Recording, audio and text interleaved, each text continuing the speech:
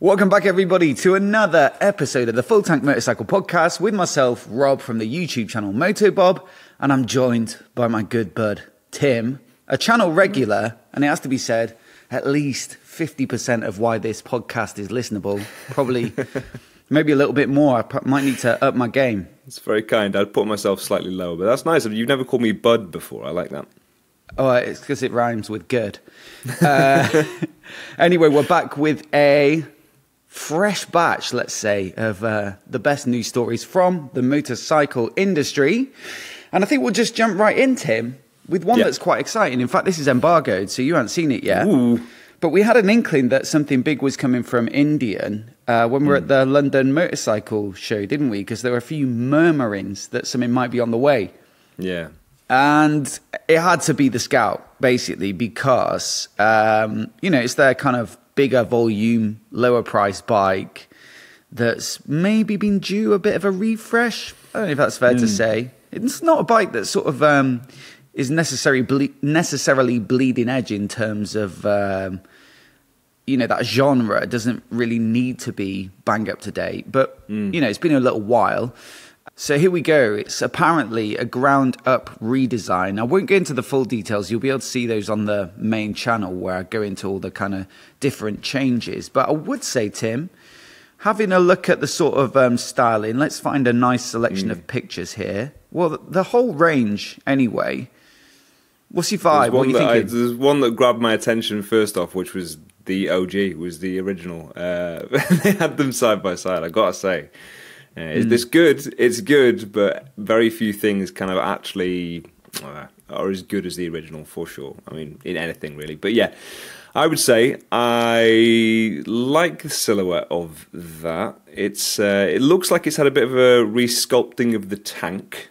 Wow, well done, mate. Because actually, I was going to say, considering it's pretty ground up, Yeah. Uh, they have still kept the overall shape pretty similar. Hmm. And one of the key things that they did talk about was that redesign on the fuel tank, which Yeah. is a little bit of a different shape, almost more rounded, would you say? Yeah, I'd go with that. I, I think it is. I mean, it's it's marginal, but I'd say it is a small improvement. Yeah. You've got a few different versions as well now. So some of them, of course, directly replacing previous iterations of the Scout. So we've still got a bobber. The Sport Scout, I guess it's a bit like the Scout Rogue. Uh, there was something similar to that previously. Super Scout looks quite cool. Uh, and then Scout Classic, which I think would have been called the just the Scout before. But maybe that that's tried to make them a little bit more digestible for your average person who maybe isn't already familiar uh, with the lineup. But here's the tasty one, look. Indian 101 Scout. You see is that? like their yeah? Is that their special edition kind of like Very option seven one nine. BMW style? Exactly, mate. Upside down Hmm. forks, big brake upgrade, twin discs. It's the one that's built to go a bit. Bit of a fairing, bar and mirrors, so it's got the looks as well. Yeah. Which one tickles your pickle? If that's I'm gonna say the actually- is Super- that a thing? My pickle is being tickled by the Super Scout. I think on this occasion. oh, yeah, like you say, the most traditional looking. Yeah, I think so. Yeah, yeah. I mean, uh, maybe maybe adjust the screen as in like you know put something else on some aftermarket. But uh, yeah, I like the panniers as well to it. I think with this this kind of bike, the sort of the panniers are they help balance the shape Leather of it a little bit more. Yeah, leather I mean also also highly functional. You can actually take stuff with you. Yeah, I think that's probably fair. Now, look, uh, like I say, there's more detail on the main channel, but what I wanted to talk to you about, Tim, is where I think they've played a bit of a blinder with this bike. And that's with the varying trim levels, because what I really, really, really, really loved about the Indian Scout when I first rode it was like the fact that it's quite raw. You know, 100 horsepower from that V twin. Uh, the, the engine's been reworked, but the previous gen, 100 horsepower, very direct throttle delivery. And then the only rider aids or whatever that it had, I think it's just ABS actually. There's no Yeah. traction control. Yeah, there was no traction control. I know that for sure because we both sort of made mention of that because it's got quite a lot of power to put down and it just lets you just yeah unleash Yes. it, go for it. And on the bobber, you know, it's got those slightly like semi knobbly looking tires. Um, so they're probably not 100% grippy. We've we've taken that bike out in suboptimal weather conditions as well, so that's probably That's also cold true. road going into it. But also things like um, yeah, no riding modes, no engine drag torque control, no slipper clutch, no nothing. I remember actually taking one from Crazy Horse in London, and it had like a um, set of straight through pipes on it. Within 500 meters of getting out the forecourt, I realised it was quite powerful for a cruiser with a lively throttle and giving Yeah. it the gas and being like, wow, this is fun for a cruiser. Quite light as well.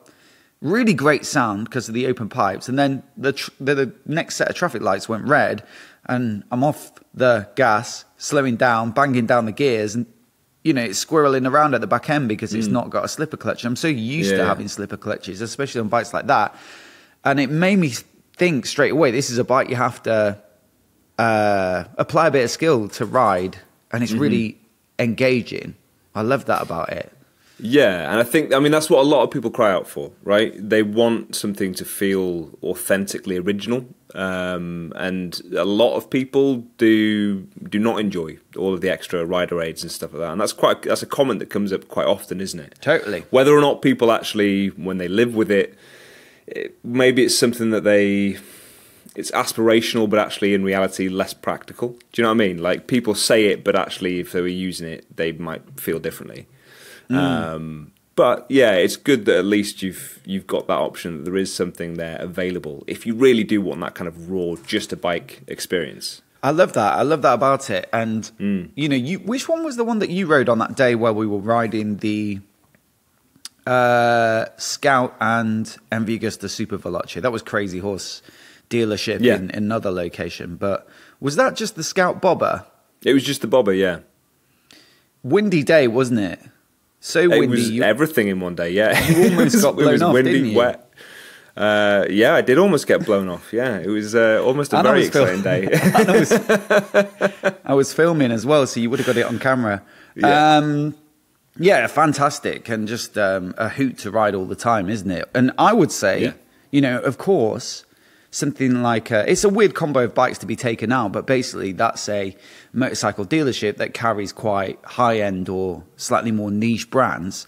And so we were just making use of the time by taking two bikes and filming two separate reviews. But it was interesting swapping between those two bikes a super veloce, like a sports Yeah, bike, yeah. loads of power. You'd expect it to be the more engaging to ride on the road. But um, it was almost like it's really very revy that 800 triple in the MV Agusta, so you can't use that much of it. You're right over the front. It's very sporty, and especially in those weather conditions, uh, I just kind of felt like you're only operating at a fraction of what it's capable of. Whereas the Scout just turn a corner, point it straight, loads of gas, great sound, loads of shove. So good times, and I think it possibly was the one that was more fun to ride on that given day. It's certainly more usable. Yeah, I would say the only thing I would say is that it was noticeably very shallow in the lean angle, um, and even on that kind of crappy day, was we were able to kind of scrape pegs, which was uh, eye opening. Yes, yeah. I mean, that's part of the course, isn't it, for the cruisers? Yeah, I guess. Uh, but almost adds to adds to the drama in a way. But you know, given that they've got this new version out now, and looking at the spec of the old bike and thinking, well, how did they make it 2024? And looking at the other bikes on the market as well that are similar, one could possibly suggest the Harley Nightster or Sportster S as their kind of like middleweight, modernish cruiser, maybe even like a Triumph Bobber, something like that. Hmm. You know, looking at why people would buy one of those bikes and not a, a Scout, uh, they had to look at the tech realistically and be like, well, is that a reason that some people are buying the Nightster, which comes with a TFT display? I think in one of the versions, the Sportster S certainly does. And even the the Triumph Bobber has riding modes and stuff, even though it's got quite a simple dash. And so that's what they've kind of offered now, as you can see with these trim levels. But what I think is so brilliant here is you've got standard trim as the base price, cheapest version. Mm-hmm. And that gets ABS like the old one, LED lights, but then an analog clock, very similar to the old one. Hmm. Uh, and that's it. It's still the essence of what made the Scout really Yeah. cool and fun to ride and feel engaging and feel like you were, like I say, applying your skill.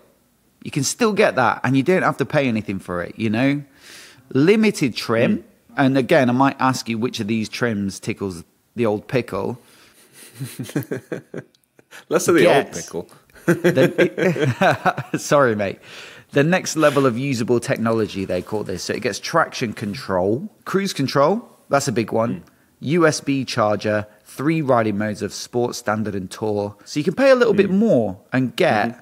a whole suite there of actual kind of modes, TC, all that stuff. Mm-hmm. Mm. And then top level, limited plus tech trim is the same stuff, but you also get their round TFT display. So it's very similar in terms of the form factor to the analog mm. clock, which is like one round speedo. But it is a TFT and it has their ride command features built in, which are like navigation that's got downloaded maps that are not reliant on having a connection to your phone and stuff. So it's quite nice. You don't even need to plug your phone in. You can just set a location and go. Okay. It's got all the bike health stuff. So like it shows you the state of the battery and temperature and I guess maybe TPMS is an option, stuff like that. Hmm. Little infographics in that screen so that you can see what's going on with the bike. But of course, that's going to be top of the pile and cost the most money. Yeah. I mean, firstly, let's just say this is a great way of offering something that's going to suit all tastes. Some people do want all the tech and ride a race. Yeah. Some people want Yeah. that raw bike.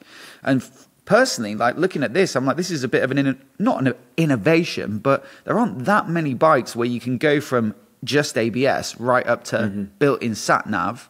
Yeah. And it also kind of feels like it means you're only paying for the stuff that you want to use. Yeah, no, it, it's definitely a great way of structuring that and tiering it. I think for me, one of the more frustrating ones um, to sort of focus on a negative briefly is, say, KTM, where it feels like they're literally just unlocking something that's in the Already bike there. already, right? Yeah, it feels like they're just, it's the package is there and they're just sort of like, oh, we'll turn it on for you.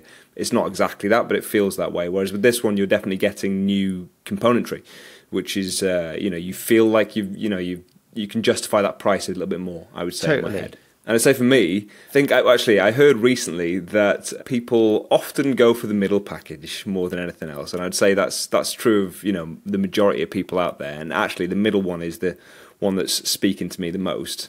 Uh, I do like an analog clock, and I actually think as good as that digital one does actually look, I'd probably prefer the analog. But having the extra little bits of electronic aids, cruise control being a big one for me uh, which shows I'm a little bit delicate of a rider, I guess. I need my uh, my creature comforts. That's true. But yeah, I'd, I'd say that is a that is a big one for me because this is the sort of bike that probably I would be doing a bit of mileage on, to be honest. If, especially if I got the sort of panniers and that bigger kind of kit. Well, you did say that the Scout Super or whatever it was called Yeah. is the one that picked, uh, that caught your eye with the panniers. Yeah. So that makes sense to get some of those features. So you're saying you're a limited plus tech trim kind of Tim, uh, no, I'm an un, I'm a limited. Trim. limited Tim, Yeah, limited. standard Tim.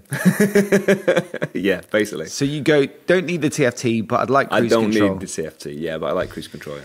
I think that's such a good point. It depends on which um, version of it you're buying. Because for me, what I've always loved is that bobber style, mean, mean looking, uh, quite powerful, raw mid cruiser kind of thing. And so that's what I'd probably go for the bobber. And in that case, I'm less bothered about cruising. I'm, you know, I'm not going to go and do a trip on it. I'm just going to No. tear around the block, like annoying the Yeah. neighbors. Um, so I'd probably go standard Tim. and that'd be enough, I think. But it looks Yeah. fantastic. And, and, you know, I think it's interesting to talk about. Yeah, there are some other manufacturers that offer different levels of tech and you can pay more or less. Um, KTM, particularly, like, it seems to annoy some people. But what hmm. I really just appreciate here is the spectrum of zero to nothing. I mean, imagine if you Yeah. could buy like a 890 Duke just with ABS oh my and god. an analog clock. yeah, maybe there's a reason they don't do that. Yeah, but true. That's the other thing as well. We were talking about, you know, what sort of rider are you? Are you someone who wants loads of gadgets? Are you someone that wants a simple bike? The only other thing I was thinking about is a lot of these rider aids, you know, the more advanced ABS features or traction control, you know, where it's lean sensitive and all those kinds of things and brake assist or link braking. Mm. You're probably only thankful that you have them if you've just narrowly avoided a crash or a spill. Yeah. Yes. Because they're, they're, all safety features, a lot of them. Cruise controls are yeah. something you'll use all the time. Electronic mm. suspension, something you'll use all the time. Riding mm. modes, I mean, I don't use them a lot when I ride bikes, but I can see how no. someone might use them a lot if they're riding in varying conditions and that's how they like to work. But most of the other ones, um, lean sensitive traction control, lean sensitive yeah, ABS, yeah, wheelie control could even be part of that if mm-hmm. you someone who may end up looping their bike. Uh, what else could could we put in there as well? Yeah, like the the brake assist features, and even when you're getting into yeah. the advanced like radar stuff. Uh, yes. Yeah, you maybe all the safety stuff. Just... Basically, it's it's an insurance, like you say. It only has its value if you have a, ever have an emergency situation, which hopefully you don't have. And I guess majority of people probably don't on a regular basis. So you probably just sort of go, ah, I don't need it. It's fine. You, you, you probably like need to see your entire life flash before your eyes before you're glad that you opted yeah, for yeah. the limited. Mm-hmm. Uh, I had a couple of moments like that when I was riding in the wet and commuting uh, on my street twin, where the TC just caught something. You know, if you go over, you go around a corner, you're in a low gears, lots of torque, and you catch like a wet manhole cover everywhere yeah. when we are both commuting in London.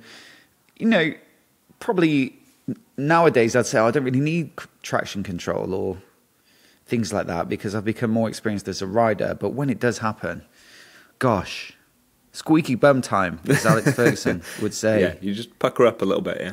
Yes, it's uh, the, your gratitude, your sort of sense of value for money is directly proportionate to the frequency of puckers.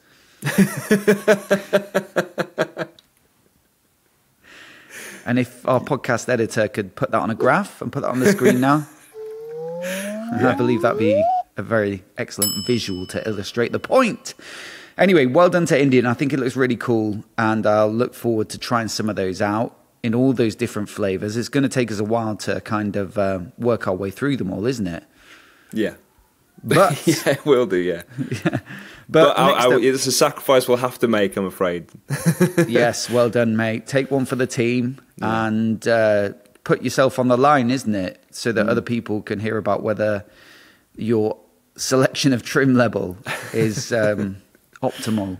You get to ride around for maybe two weeks on a brand new Indian, mm. uh, but it's important journalism. So well done, mate. Next up, we've got another brand spanker, kind of.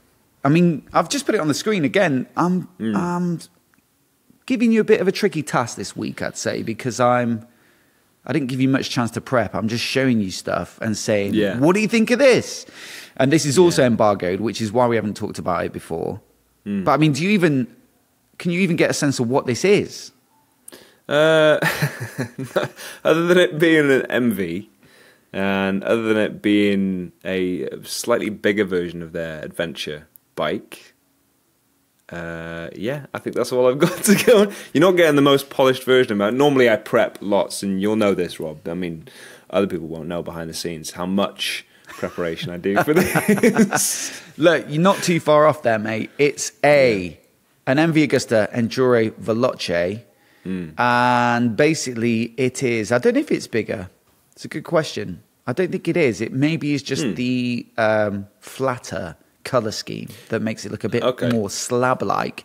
But this is the non-special edition version. This is your man of the people kind of version of their mm. LXP Orioli, Ori, Orioli. I can't say yeah. that. Orioli that they announced at EICMA, which was mm. based upon the 9.5 Lucky Explorer that they announced a couple of years before that. So yeah. effectively, I hadn't realised that bike, which they say is going to cost around 30,000 euros, which is, you know, about 26,000 pounds, I believe. Yeah. Um, is like a special edition. It's the creme de la creme of what you could get uh, on this platform. It's got the okay. fancier paint job and stuff. This is your more affordable everyman's bike. Yeah, it's hard to say without like a side by side comparison between the two of them, but it's not quite as arresting looking. Um, yeah, but a paint job can do wonders, can't it? It really, yeah, it really can. Apparently, yeah. It also maybe looks a little, yeah. Actually, now that you've got that one up, I can see that they are. I guess that they are the same, but there is a few. I mean, there's different tires. Uh, tires are weird ones, really, actually, because they do change the look of a bike quite a lot when you stick on the knobblies as opposed yeah. to the road tires. But yes, yeah, there's. I mean, there's a few other sort of tweaks on there. I'm sure that you'll take us through, but that's that's kind of my first initial impression. Yeah. What, which one do you prefer looks wise in terms of like the paint job? Because obviously this is more like Agostini inspired yeah, with the true. silver and red, very typical of MV Agusta. Um, mm. Whereas the other one is Cagiva Elefant inspired, that whole Lucky Explorer vibe. Yeah. I mean, it's that one. It's the LXP that's uh, that's standing out to me. That that is the one I'd get. I think it's just it allows the black to stand out a bit more as well because you've got white and black and little tiny bits of red, little flashes of red on it. I think it looks better to my eye, but there's not a lot in it, I guess. Again, there's going to be a more comprehensive video on the main channel, of course, with all big motorcycle announcements. So do check mm. out Moto Bob if you haven't already. But you can see it's like, yeah, the paint, but also little details like the. The bash plate uh, as well, right? Y- yes, I think it's a bit more hardy on the yeah. premium version. Uh, the rims are those, are they called Excel? Mm. Top level off road, nicely made, polished rims. In terms of the actual spec, like I say, I won't go into that too much here, but I think what I wanted to talk about with this is whether this way of launching a bike has made the specialness diminish over time. So, like, let's have a look at the timeline for this because I was thinking mm. about it. So I did a bit of research, mate. Quite impressive if you if I don't say it myself. Launched in 2021, the 9.5 Explorer, Lucky Explorer, yeah. sorry, which is the prototype version. And they said we're yeah. making a new 950 triple that's going to be a lot more mid range and torque biased. Um, and it's going to look like this. And we're also going to make a couple of other versions that are like smaller capacity. I think they talked about a 5.5 or something like that. Mm. But initially, that's when we were like, wow, MV Agusta making an adventure bike. Adventure bike mm. selling really well. MV Agusta makes some of the best looking bikes on the market and some of the most bonkers and fun to ride. This yeah. is a match made in heaven. Mm. How exciting. I can't wait to see it. And then, then went a bit quiet for a while. I remember in 2022, Bennett's Bike Social uh, sent a journalist, I think it was Chad, who's a um, super experienced yeah. journalist, does a lot mm. of this sort of thing, uh, went out to the factory to ride the prototype version, which was all blacked out. But mm. I was starting to think, well, if he's been allowed to ride it and write about it. It's not just a gig where he's giving feedback or whatever, which I think he does as well. Yeah. Then it must be getting pretty close. But then it's only another year later, the LXP Orioli's announced. So we mm. share that. And then now, a few months later, you've got this standard model. Mm. And it just has me wondering. I mean, I'm no expert in launching motorcycles, and I'm sure no. there's reasons for it, and there's lots of things that go into it. But just on my side of it, like my observation is that maybe the anticipation and excitement mm-hmm. has had too much time to sort of wash away. And I've noticed every time I talk about the MV adventure bikes, the uh, numbers just get lower and lower because yeah. People, like even the LXP Orioli at, mm-hmm. at um, EICMA this year, one of the most um, specky, like interesting, exciting looking bikes, a big brand yeah. uh, that do these really premium aspirational bikes. You know, mm. that video just didn't do that well compared to Honda's NX500 or, you know, which is an exciting bikes. bike, yeah. And, and that, that's kind of surprising. It just makes me think, yeah, uh, yeah, like, yeah. What, what, if they just announced this first and then later said, "Oh, here's the special edition as well if you want to go up a notch." So I wonder whether it's like it's either a marketing mismatch or whether it's a bike that people just aren't as excited about. Maybe in terms of like the way it's going to perform. If someone is really thinking of taking it off road, maybe they're thinking, "Ah, it's not as good as such and such."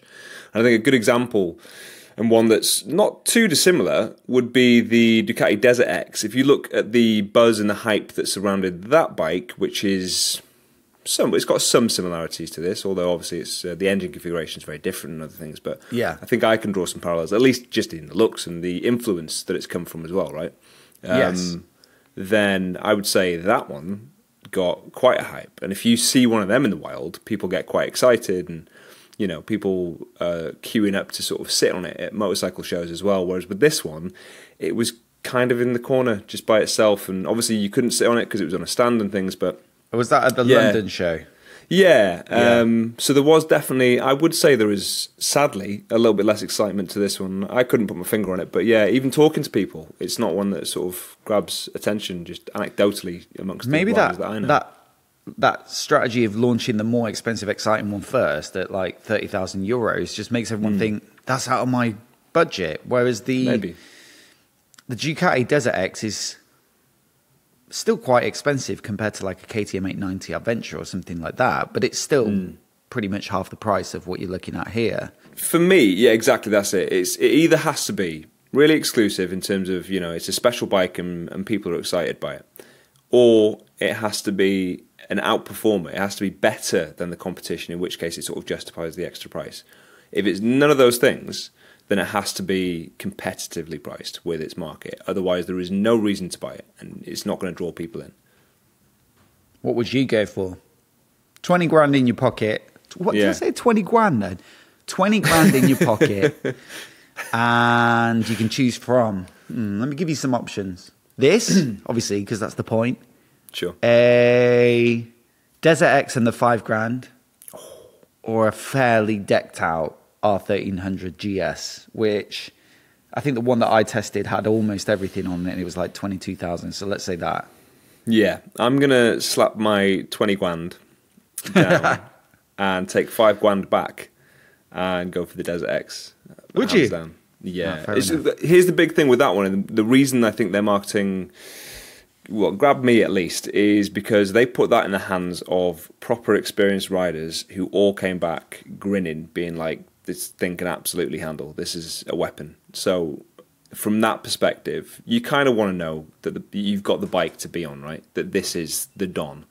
Yeah. Um, even if you're never going to be good enough to show it off, you you want to know that you've got the right bike, and I think that is the case with the Desert X. Sometimes with the MVs, they get announced, and then because they're so exclusive and expensive, you don't get a chance to ride them, or it's rare to get the chance. Like it's Yeah. harder to get the chance than, you know, a, a mainstream manufacturer that have a decent fleet of press bikes, and you've got a contact where you go and pick them up. You know, there's like an established mm. process that doesn't mm-hmm. really. It's a bit more ad hoc with the MVs, but mm. now that they're part of the Pierer Mobility Group, who owns KTM and Husqvarna, they're kind of taking some of that responsibility. So it's actually mm. seems like it's going to become more accessible for journalists.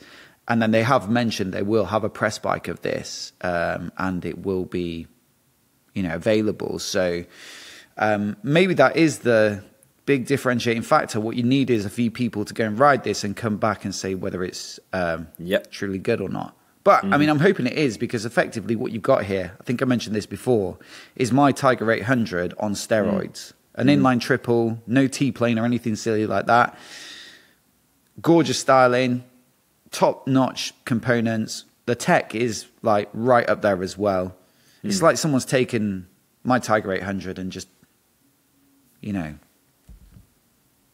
improved everything, let's say. But, but I'm expecting still some of the same mid-rangey triple character. So certainly, in the in the same way that you selflessly volunteered yourself to test out inte- the entire Indian Scout range in the name of um, consumer research, Science, science, yeah. look, I'll take this one, mate. Okay, You're welcome. Yes. Interested to hear what the audience thinks of it, though. So do let us know down in the comments below, especially if you're on the YouTube version of this video and watching it visually, which I'd probably say, given how much we've been talking about how the bikes look, would be a good idea. Moving swiftly on, Tim. The next story I was going to look at is a piece on MCN uh, where they talked about the fact that electric motorcycle sales have plummeted uh, by almost a third year on year, whereas petrol bikes are on the up. So they're saying that the figures from MCIA, which is the Motorcycle Industry Association here in the UK, who publish all the sort of sales figures, uh, say that there have been 10,000 new bikes registered since the beginning of 2024, which is nearly 6% up on the same figures last year. With February alone, almost 5,000 bikes were sold, and that's 6.5% up on last February. So, really strong numbers, which is great mm. to see for everybody here who has a job that relies on the motorcycle industry keeping going. Um, but also, like when you pick into those numbers, you know, some of the bikes that are selling really well are the MT-07, the new GS, uh, the Suzuki GSX-8R, which we'll come back to. But they say that the electric category is down by 31.4% when compared with February last year. They don't really give any mm. Uh, background to why, but that is some slump. I don't know if uh, maybe the tax breaks or like grants or whatever have changed, have they? Is there anything like that around electric bikes? I haven't seen anything like I that. I mean, I think it's probably a host of different reasons. Uh, one of which, very boring, could be just the energy prices have uh, changed as well. Those, I mean, that's a slow shift, but it's been over a, a fair while. But yeah, I'd say that's some good lateral thinking there mm. and reasoning. It hadn't even occurred to me. So, yeah, that's a fair point. I mean, if it's costing double to charge it up, it starts yeah. to look quite a lot less appealing. Yeah. Although, Tim, you could argue that fuel prices aren't exactly a bargain either. So no, they're not. But I know that the. I mean, I, I don't know if you're across the sort of cars as well, but I think the same is or similar is true in the cars. Is that um, they've kind of they were people were sort of uh, nervous to kind of adopt it early, um, and then it kind of had a, a, a surge or an incline and then uh, it's kind of plateaued a little bit just because of the charging stations. It's becoming uh, because there are more of them on the roads. The charging stations are charging more, and there's also quite a lot of difference between the rates and costs. I think of where you charge it, how you charge it, you know, what sort of system you're on. So it's just it's a bit all over the place, to be honest. Um, so yeah, I would say it's a tricky one to justify because originally it was, you know, all right, it costs more to buy it outright because they're more expensive to produce but the running costs are lower, so it'll balance out eventually. But you know, I saw studies. I'm sure you did as well. That was saying that it, it, would take however many years for it to actually balance out. So it it still didn't really make sense. And although yeah, petrol's still going up as well, it's uh, it's not a sort of it's not a, a, question of saving your money. So you really have to like the machine. And I'd say a lot of people out there still like that tingle in their dingle.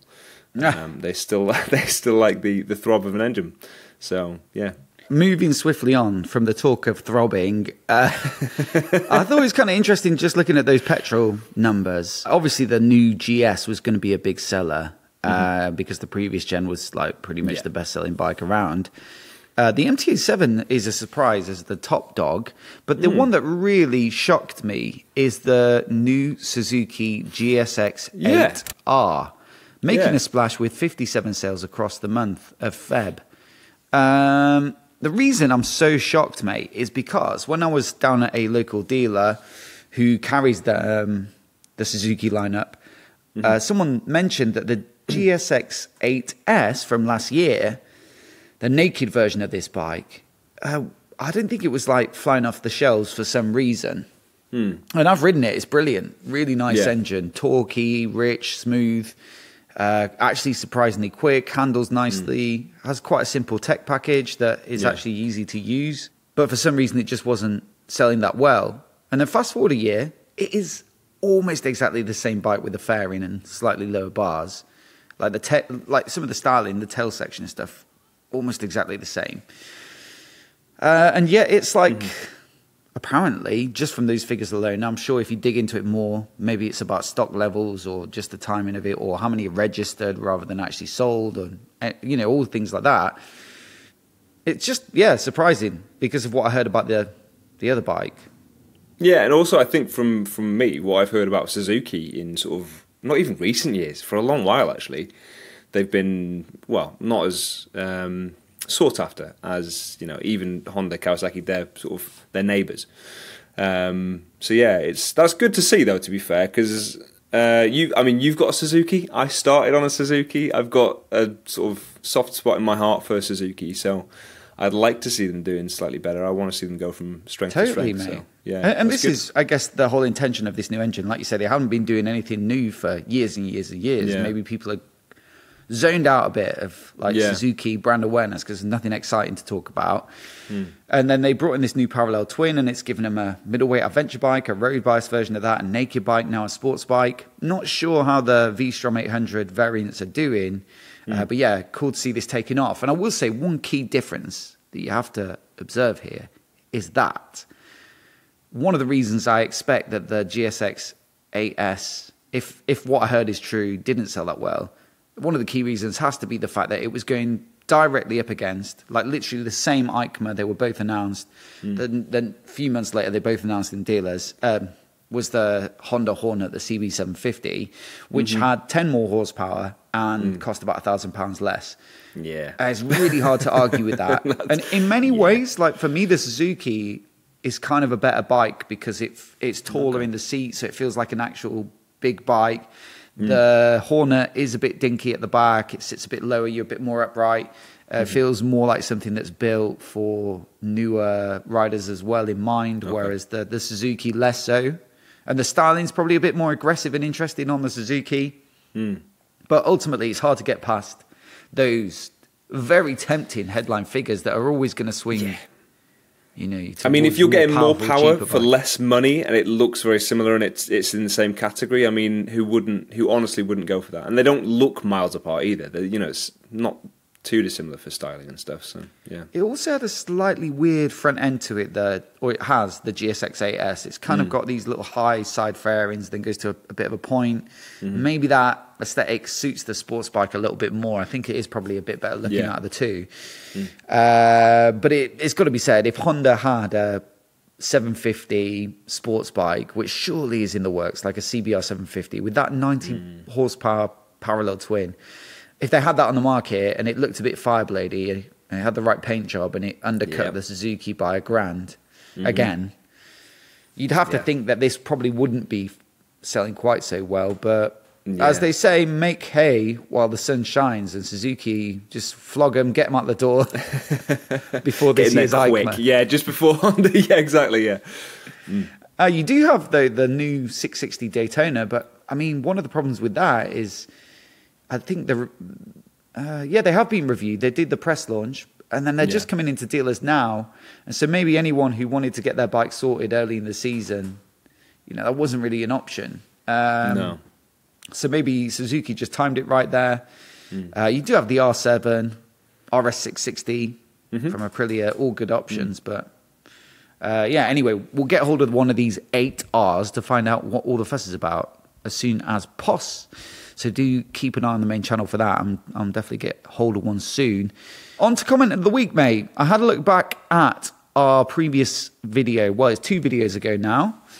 And one of the things that seemed to uh, get people's attention was the new Husqvarna Svartpilen 801. And so here are a couple of comments just to give a little flavour, and I'll maybe get your opinion. Johan Jonsson says, would have been interesting to hear your thoughts on all the negative comments on Instagram regarding the new Svartpilen 801. I don't get it. I ba- it's basically a mashup between the 401 and 701, and both of those models have had much love from the community. I don't like all the details, mainly the tank graphics and the side panels, but I think the overall package looks like a great bike. So I've ordered one, and then he's put the uh, confetti emoji to celebrate. Wow. Uh, a few comments down the feed though. NPADV could be Adventure 2023 says, don't agree. The Husky 800 is not a sexy bike. He's not disagreeing with Johan Jonsson. I think he's disagreeing with me saying it's almost the perfect bike. Yeah. The 401 is a sexy bike, just as ugly as the 701. I'm really gutted. I was hoping it would look more like the 401, and I mean the old 401, as the new one is just as bad. And so, what I wanted to say to you, Tim, let's get it up on the screen with a, a, a week or two after it's been launched, just to, you know, reflect, let it bed in. Mm-hmm. Did we get it wrong? And is this actually a horrible a bike to look It's at? A month, yeah. Good no, it is or not. bad? That is a good looking bike. That is one of the best looking bikes of this year that I've seen. What do you think the issue is with? Uh, see, you know, I this don't know, mate. negative I mean, commentary on Instagram. I haven't seen anything really. I suppose the tail section's quite short. It comes down where the rear Yeah. axle is, but that's part of the, uh, and maybe some of the shapes aren't like that congruous because this tail Sure. section with the airbox is inherited from the KTM 890, 990 Duke, is it, or the Hmm. 890, something like that. I don't know, mate. I maybe, mean, yeah. like, there's something with the tank. I could sort of see an argument with the kind of the way that the tank um, flexes out at the sides. Yes. um, which is quite a bold styling move.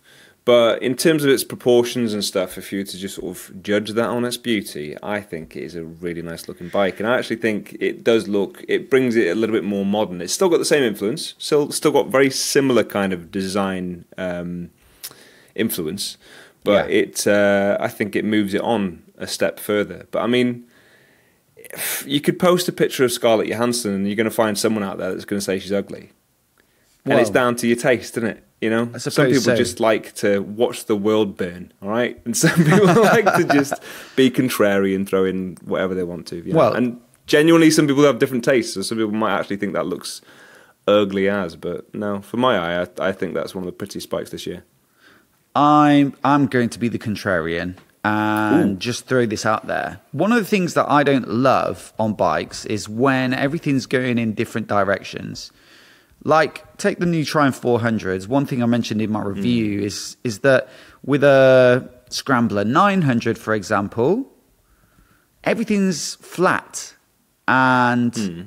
look at how the exhaust, the fins on the cylinder head, the seat, the tank, they're all horizontal and looks really nice and classic. Yeah. With this, it's kind of like the seat is sort of flat, but the tank angles down. Yeah. But then the angle of the engine's a bit like that. Hmm. And then it's kind of straightish at the bottom, but not as angled as that. And then this flicks up, and it just doesn't look as congruous as this.